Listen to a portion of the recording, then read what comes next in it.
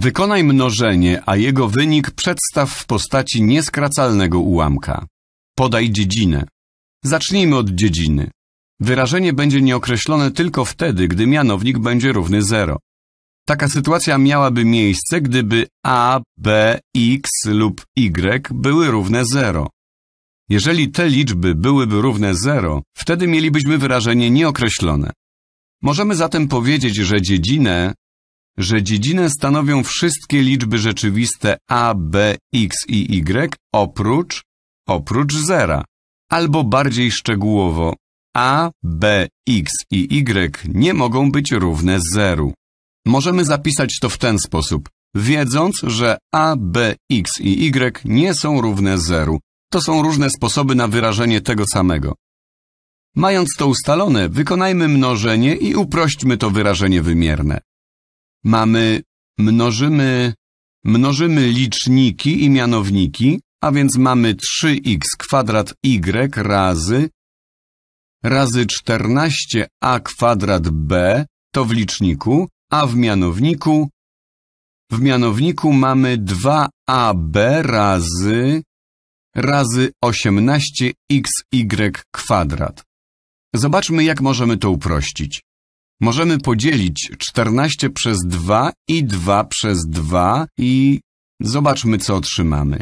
14 podzielone przez 2 jest 7, 2 podzielone przez 2 jest 1. Możemy podzielić 3 przez 3, otrzymamy 1 i podzielić 18 przez 3 i otrzymamy 6. Za każdym razem dzieliliśmy licznik i mianownik przez 2.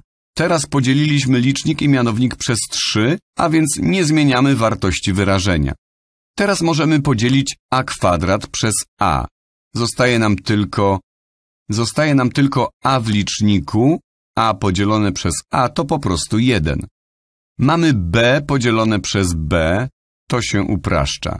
Mamy x kwadrat dzielony przez x, a więc x kwadrat podzielony przez x to x, a x podzielony przez x to po prostu 1, a więc mamy x podzielony przez 1 lub po prostu x. I na koniec mamy y podzielone przez y kwadrat. Jeśli podzielimy licznik przez y, otrzymamy 1, jeśli podzielimy mianownik przez y, otrzymamy y. To co nam zostało? W liczniku zostało nam... Te jedynki możemy zignorować, nie zmieniają nam wyniku. Mamy 7, 7 razy a razy x, to wszystko co mamy w liczniku. W mianowniku mamy tylko 6y, 6y. Teraz musimy uwzględnić nasze ograniczenia mówiące, że a, b, x i y nie mogą być równe 0. Jeżeli spojrzycie na to wyrażenie, możecie powiedzieć, hej, coś jest nie tak z x. Nie mam tutaj nawet żadnego b, a więc to trochę dziwne stwierdzenie, ale możecie zapytać, dlaczego x lub a nie mogą być tutaj równe 0? Nie czynią przecież równania nieokreślonym. Ale aby oba te wyrażenia były jednakowe, muszą mieć tę samą dziedzinę. Albo w zasadzie, gdyby to były funkcje równe tym wyrażeniom, żeby to f od x było równe temu tutaj f od x, dziedzinę musimy wyznaczyć w podobny sposób. To byłoby zupełnie inne wyrażenie, gdybyśmy nie wykluczyli xów i a. W tym przypadku nie możemy ich wykluczyć. Żeby wyrażenia były naprawdę równe, muszą podlegać tym samym ograniczeniom.